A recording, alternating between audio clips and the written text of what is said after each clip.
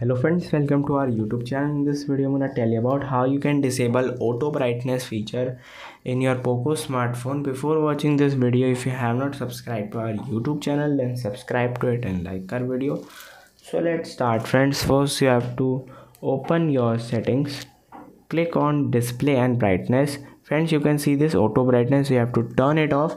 When you just turn it on it will automatically uh, increase or decrease your brightness according to your room lighting. And if you turned it off you can just increase or decrease the brightness according to yourself.